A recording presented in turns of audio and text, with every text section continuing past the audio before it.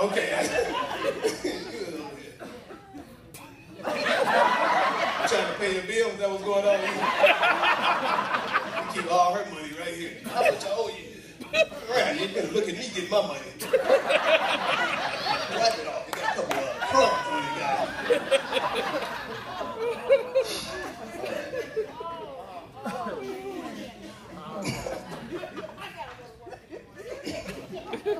now, what do you do? You keep saying you got to go to work in the morning. Oh, okay. What are you doing? I'm in sales and marketing. Oh, okay, cool. Man, no walking to that.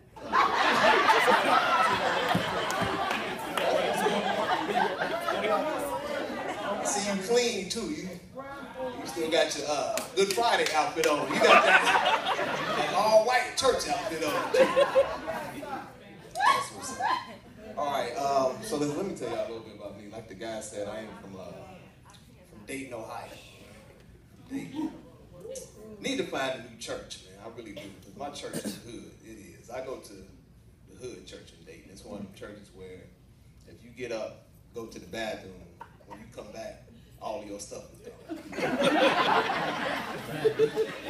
Seriously, I'm not It's because they steal in my church. It's to the point now when ladies shout at my church, they shout with all of their belongings. It's not throw out your purse real quick. Yeah, bro. This is how ladies shout at my church.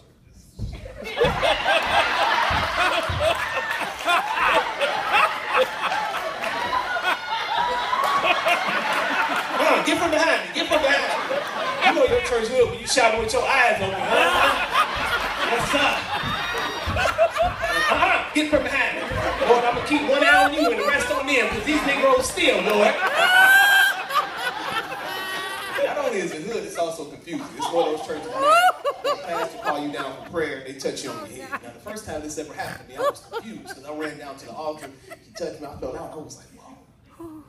And this is where the confusion begins. Because everybody know good blazer. That's what I'm gonna call you tonight. Good blazer. Okay. Everybody know Mr. Good Sport Coat. That's better. That's better. Mr. Good Sport Coat. Pass the touch. You're supposed to fall out. We already know that. We don't have to lay the foundation. But here's the question, Mr. Good Sport Coat. Y'all ready? Here go the question. How long are you supposed to lay on the floor? For real, nobody knows. 30 seconds to five minutes. But I knew it was serious at this church because they put the little baby blanket over my legs. It was, oh, they serious at this church. And there was a dude laying next to me, so I was like, Psst. When you getting up? Hold on, be quiet. Go the pastor.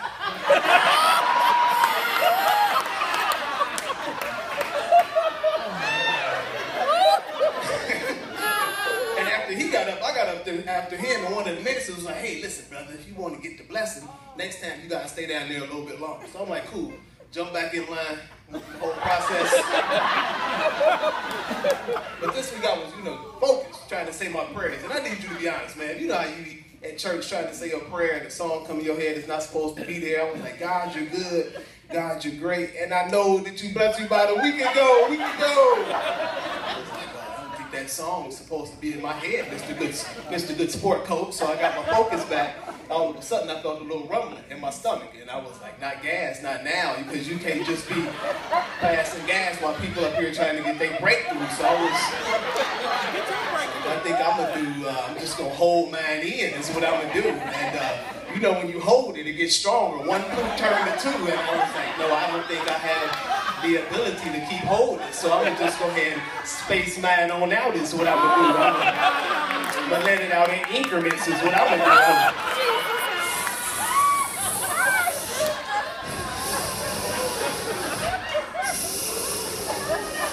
do. You know, it's always one to sneak up on you too.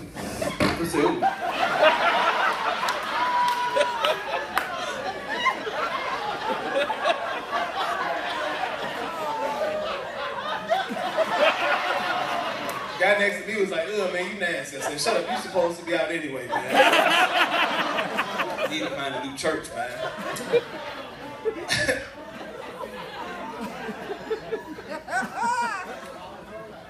Grew up in the hood in Dayton, Ohio. I did, man. Uh, one of the things about my neighborhood is we had some, some good motivators. Matter of fact, we had some great motivational speakers in my neighborhood. It's the only thing and uh, I don't think y'all call them that in Columbus. I think you call them something different, like crackheads. That's what you call them.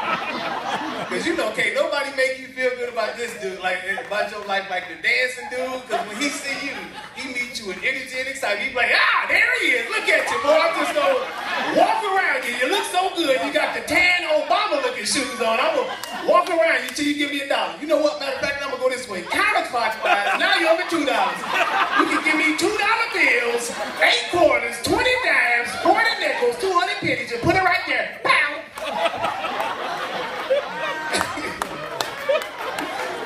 you know, this crackhead's got a mean kickback, Mr. Good Sport coat. Yeah. Pow! You go outside with that good coat on, they just gonna open your coat.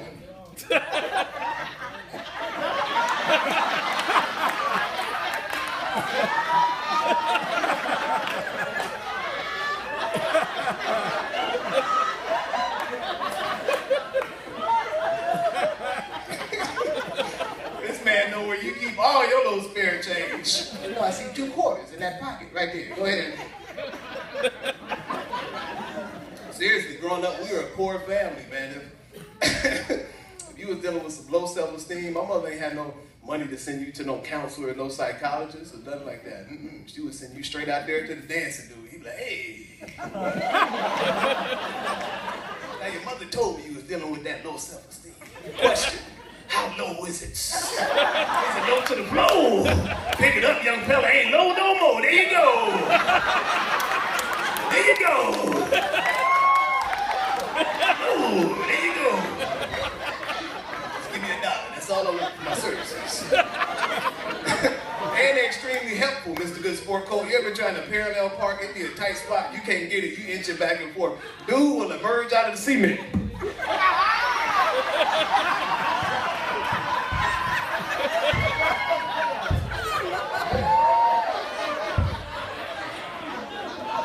Inch it on back. Inch it back. There you go. There you go. Stop. Stop right there.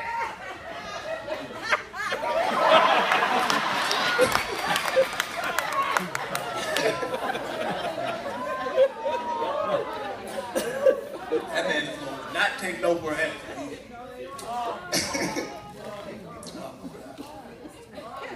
Money too tight right now. Funds to the dancing crackhead. Don't know about you, but money's tight.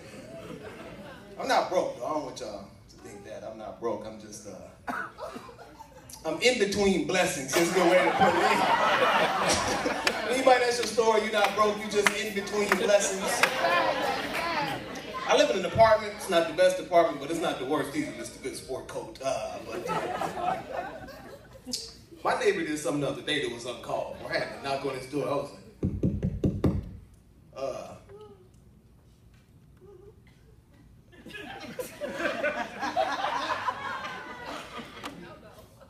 Why did you change your Wi-Fi password?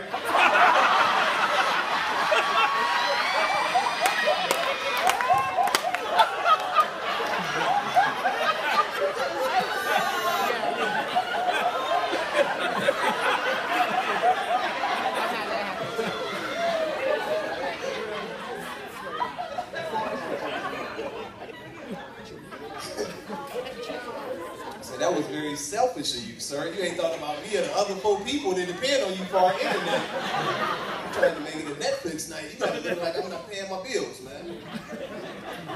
reason why money's tight, though, I'm paying that child support. Any fellas in here paying child support? Okay, you got to fat for it? Okay, got you, I got you. You pay it? You pay child support? A little bit. You supposed to?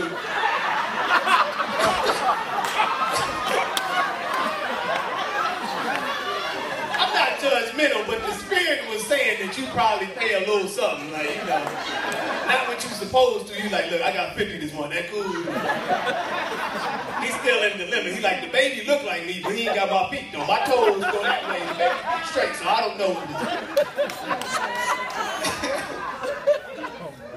Seriously, man. Uh, but yeah, I got two beautiful children, man. I got my, uh, my son Jordan is five years old. My daughter Journey is four. Amen. You know? Okay, okay. I know you say you just say amen about anything. Just amen, amen. You know his kids' names, you know, because black men out here don't even be knowing their kids' names no more. So I applaud you for knowing their names, black man king.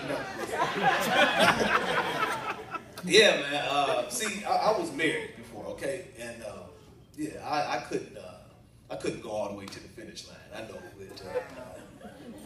I couldn't. See, here's my thing on divorce. I know it's a taboo uh, topic, man, but this is how I look at it.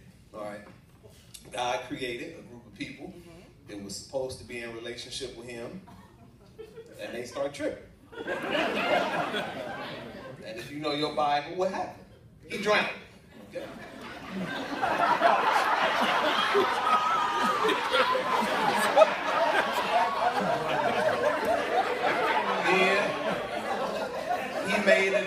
group of people. They start tripping, and he drowned them too. So my point is, if God can start over, why can't I? That's all I'm saying. That's all. That's all I'm saying. Look, some of y'all don't know y'all Bible. You don't know about the pre-Adamite world and nothing like that. You like, he drowned people twice? That's why he said, be fruitful and multiply and replenish. Because there was people before Adam. Y'all know that? Yep, I knew. Just you. Okay. Yeah, you ain't saying amen now. She's like, God dang, I just learned something from I just learned something from the skinny fella. Mr. Good Sport Coat, did you know that? No, I didn't know that. Okay, got you. Take the coat off. I'm starting to think that the coat is making people think that you got more knowledge than you. No. I want you to do something. You had on the good coat. You said. Mr. Construction, do you know that? Okay, got you. All right, well, give the sport coat to him, give the coat to him. But yeah, okay, so anyway, the reason why I'm not married anymore is because the lady who I originally started dating and the lady I married was two different people. Ladies, I will say this. Y'all are excellent at getting a man to commit. Y'all are. Y'all are. The problem is once you commit, that's when y'all get too comfortable. Not all women. Hey, in this story you do. Okay, so.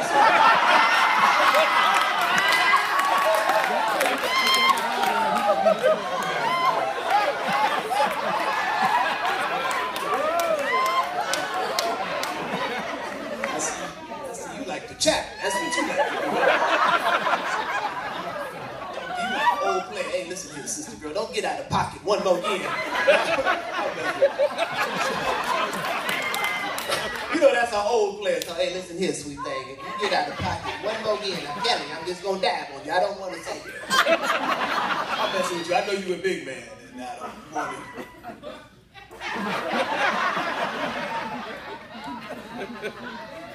but seriously, ladies, y'all get comfortable, man. Because at the beginning of the relationship, beginning of the marriage, that is when y'all do, you know, y'all.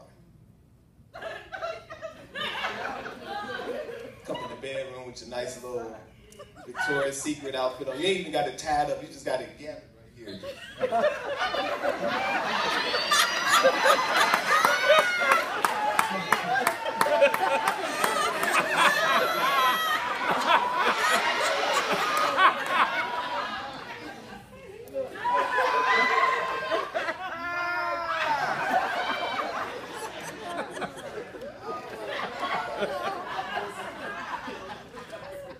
And as a dude, we like, oh yeah, that's it right there. But here go the problem, ladies. After we've been married to y'all for a couple years, y'all don't keep coming to bed sexy like that no more. Nah, you don't. Y'all start coming to bed like a homeless woman. Y'all are coming to bed wearing multiple layers of clothing.